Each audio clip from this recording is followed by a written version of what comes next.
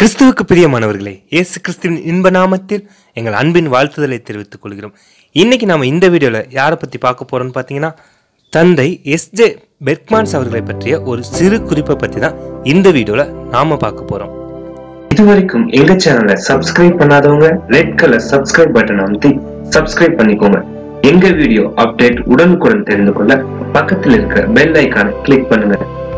தென்னிந்தியாவின் மதுரை மாநகரிலிருந்து சுமார் 70 கிலோமீட்டர் தொலைவில் உள்ள சூசைப்பட்டி என்னும் சிறிய கிராமத்தில் ஆயிரத்தி தொள்ளாயிரத்தி நாற்பத்தி ஒன்பதாம் ஆண்டு ஆகஸ்ட் மாதம் மூன்றாம் தேதியில் பிறக்கிறார் தந்தை பெர்க்மான்ஸ் அவர்கள். விவசாயிகளான இவரது பெற்றோர் ஒரு பக்தியுள்ள கத்தோலிக்க கிறிஸ்தவ பாரம்பரியம் கொண்டோர். ஐந்து பிள்ளைகளை உடைய இந்த குடும்பம் இவரது அத்தையும் ஒரு கத்தோலிக்க கன்னியாஸ்திரி. சிறு வயதிலேயே தேவாலய பாடகர் குழுவில் சேர்ந்து பாடுவதில் அதிக நாட்டமுடையவராக விளங்குகிறார் தந்தை அவர்கள். இவர் உயர்நிலை கல்விக்கு பின்பு கத்தோலிக்க போதகராக பணி செய்ய விரும்புகிறார். இதனால் வேதாகம பயிற்சி பள்ளியில் சேர்ந்து பயிற்சியில் ஈடுபடுகிறார். அது மட்டுமல்லாமல் பயிற்சியின் போதே இசை நாட்டத்தை விடாமல் தொடர்ந்து அதிக இசை பயிற்சியில் தன்னை ஈடுபடுத்திக் கொள்கிறார் தந்தை பெர்க்மான்ஸ் அவர்கள். மதுரையில் வேதாகம கல்லூரியில் மாணவராக பயிலும் காலத்திலே ஆலய பாடகர் குழுவில் சேர ஆர்வத்துடன் முயற்சிக்கிறார். ஆனாலும் பாடகர் குழு தலைவர் இவரது குரலை ஏளனம் செய்து புறக்கணிக்கப்படுகிறார். ஆனாலும் காலங்கள் உருண்டோடிய பின்பு தமிழ் கிறிஸ்தவ உலகில் பலரால் அறியப்படும் புகழ்பெற்ற ஒரு பாடகரானது இவருக்கு மாபெரும் வியப்பு. ஆயிரத்தி தொள்ளாயிரத்தி எழுவத்தி நாலாம் ஆண்டு கத்தோலிக்க மத போதகராக தந்தை பெர்க்மான்ஸ் அவர்கள் பிரதிஷ்டை பண்ணப்படுகிறார். தமிழ்நாட்டின் சிவகங்கைக்கு அருகே சாத்ரான்பட்டி என்னும் சிறிய கிராமத்தில் ஆயிரத்தி தொள்ளாயிரத்தி எழுவத்தி எட்டாம் ஆண்டு கத்தோலிக்க போதகராக நியமிக்கப்படுகிறார் தந்தை பெர்க்மான்ஸ் அவர்கள். பணிக்கு வந்த புதிதில் நாடகம் பாடுதல் ஆராதனை போன்றவற்றை கலைப்பணிகளில் மிகவும் இவர் ஆர்வம் காட்டுகிறார். சீகுராணி என்கிற குக்கிராமத்தில் மேடை நாடகம் அமைத்து சினிமா ராகத்தில் பாடிக்கொண்டிருந்தார். இரவு நிகழ்ச்சிகள் முடியும் தருவாயில் அந்த ஊர் கிராமவாசி இவரை பார்த்து நீங்கள் ஒரு கிறிஸ்தவர் தானே? இப்படி சினிமா பாடல்களை பாடி தெருக்கூத்து நடத்துவதற்காக உங்கள் பெற்றோர் உங்களை இப்பணிக்கு அனுப்பியிருக்கிறார் என்று கேட்டது இவர் மனதிற்கு மிகவும் வேதனையை ஏற்படுத்திவிட்டது. இதனால் தந்தை பெர்க்மான் சார்கள் பல நாள் தூக்கத்தை துளைத்து ஆலயத்தில் பிரார்த்தனை செய்கிறார்.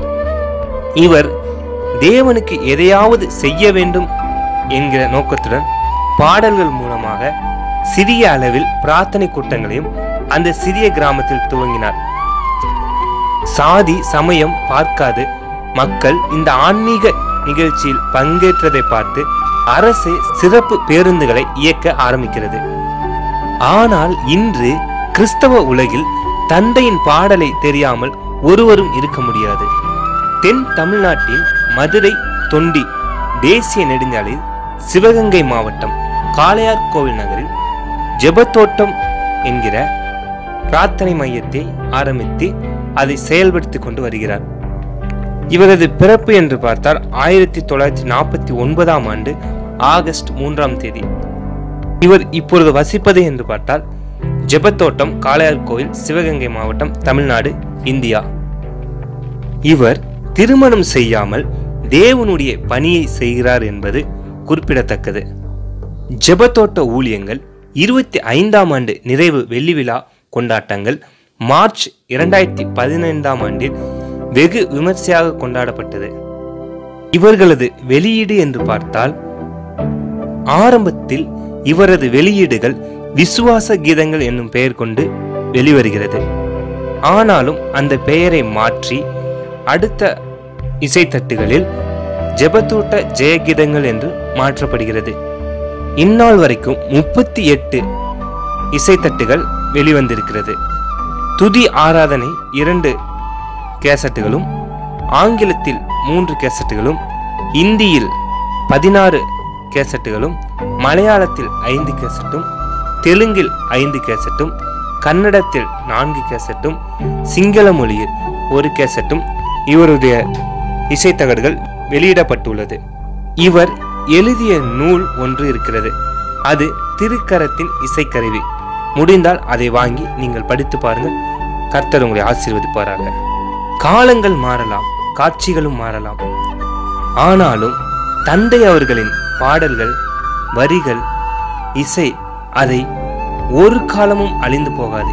ஏனென்றால் பரிசுத்த வேதாகமத்தில் உள்ள வசனங்களே இவரது பாடல்களாக இயற்றப்படுகிறது. வானமும் பூமியும் ஒளிந்தாலும் என் வார்த்தை ஒருபோதும் ஒளியாது என்கிற தேவனுடைய வார்த்தையின்படி தந்தையினுடைய பாடல்கள் அமைந்துள்ளது. குறிப்பாக என்னுடைய தனிப்பட்ட வாழ்வில் ரட்சிக்கப்பட்ட நாட்களிலிருந்து தந்தையுடைய ஜெபத்தோட்ட ஜெயிக்கிற பாடல்கள் தான் எங்களை ஆற்றி தேற்றி இந்நாள் மட்டும் கிறிஸ்துவுக்குள் நிலைத்து நிற்க கிருபை செய்திருக்கிறது. இவரது பாடல்கள் நானூறுக்கும் மேற்பட்ட பாடல்களை இவர் இயற்றியுள்ளார். இந்த வீடியோ உங்களுக்கு பிடிச்சிருந்தா ஃபர்ஸ்ட் ஒரு லைக் பண்ணுங்க இதை மற்றவங்களுக்கு ஷேர் பண்ணுங்க. இது வரைக்கும் நம்ம சேனலை சப்ஸ்கிரைப் பண்ணாதவங்க சப்ஸ்கிரைப் பண்ணுங்க. மறக்காம தந்தைக்கு உங்களுடைய பிறந்த நாள் வாழ்த்துல பெறுவீங்க. கர்த்தர் உங்களை ஆசீர்வதிப்பாராக. ஆமேன்.